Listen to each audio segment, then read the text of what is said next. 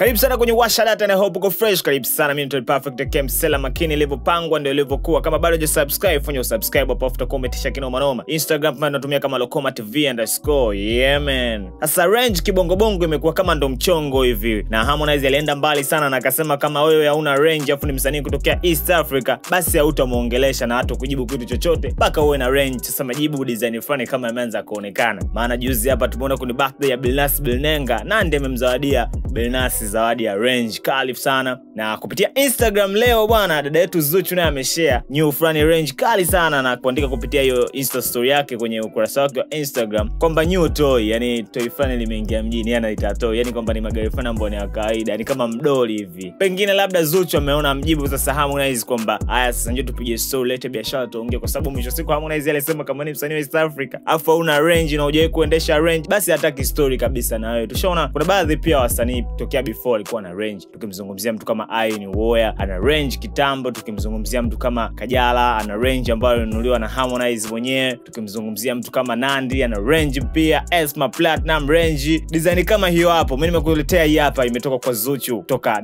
WCB Queen mwenyewe. Ni Perfect makini, ilivyopangwa ndio ilivyokuwa. Tukutane next time, bye bye.